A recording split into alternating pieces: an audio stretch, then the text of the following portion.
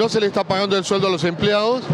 En concreto, del sueldo del mes de septiembre no se le ha abonado absolutamente nada y es difícil para los compañeros poder seguir prestando tareas cuando no tienen para pagar el colectivo, cuando no tienen para pagar el alquiler, la cuota del colegio de los chicos.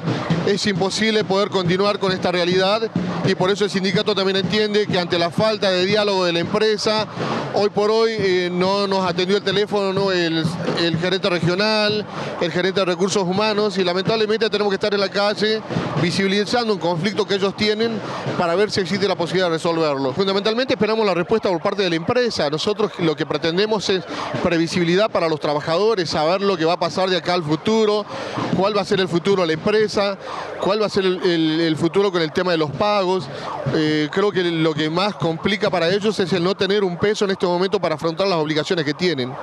¿Desde hace cuánto vienen ustedes con esta situación?